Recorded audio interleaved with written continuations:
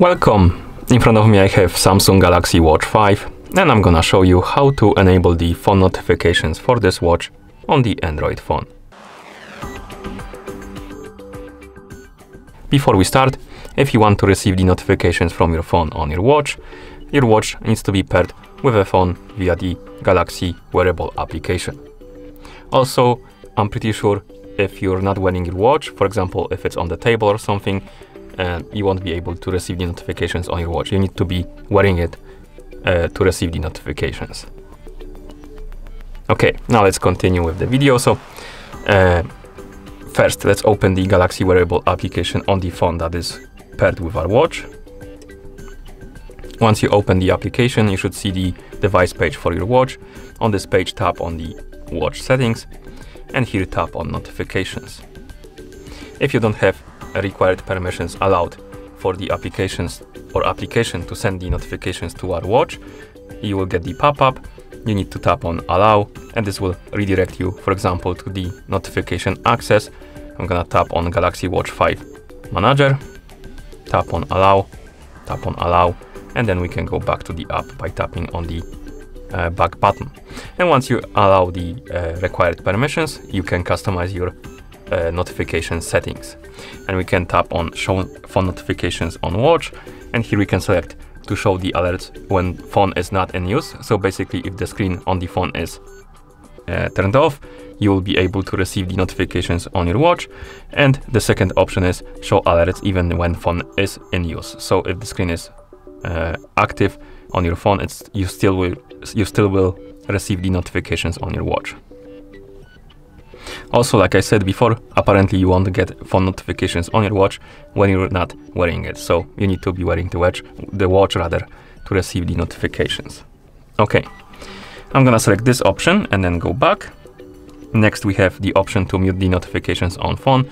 So basically, if you select this option, you will receive the notifications on your watch, but the notifications on the phone will be muted. And below that we have the list of apps and we can enable or disable the notifications for the apps on your phone.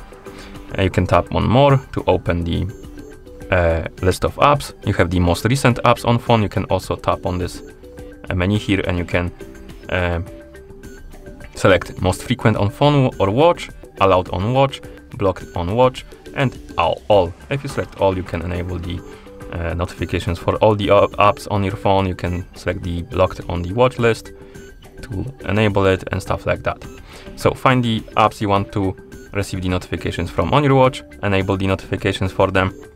And once you're done, you can also tap on advanced notification settings. And here you can uh, enable or disable couple more, more things like notification indicator.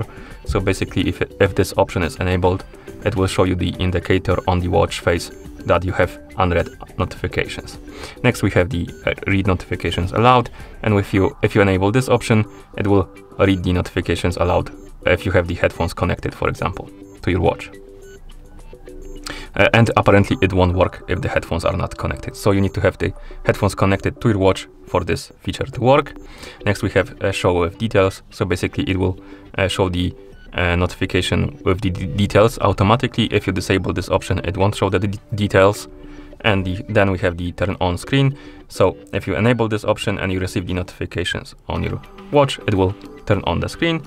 And last is the turn off for new apps or turn on for new apps. So basically, um, if you enable this option and you install new apps on your phone, it will automatically enable the notifications for them when you install them. So if you don't want to go back to app and check them, or rather enable it uh, every time you install the new app, you can select this option and it will be enabling them automatically. Okay. Now, uh, we should be able to receive notifications on our watch. So I'm gonna, uh, for example, place, place the finger under the sensor. Hopefully it will detect us wearing it. And then I'm gonna send myself a message on Discord and we should be able to receive it, receive it rather. And here we have it. We have the message on our phone and also on our watch. Here we have our, our message. We can also reply immediately. We can tap right here and reply um, like this. And we can also scroll down. We can use the quick replies. And if you scroll to the bottom, you can tap on mark as read, mute one hour, show on phone, and more. You can also swipe right to close it. And if you want to check the notifications you missed, you can swipe right on the home screen. And here you should see the notifications. You can tap on them to reply, for example. You can, uh, I believe, uh, swipe right and then tap on clear all to dismiss them all. And that's about it. Oh no, you can also swipe up on the notification itself to only clear one. Okay, and that's how you enable the uh, phone notifications for this watch on the Android phone. Thank you for watching. If you found this video helpful, please consider subscribing to our channel and leaving a like on the video.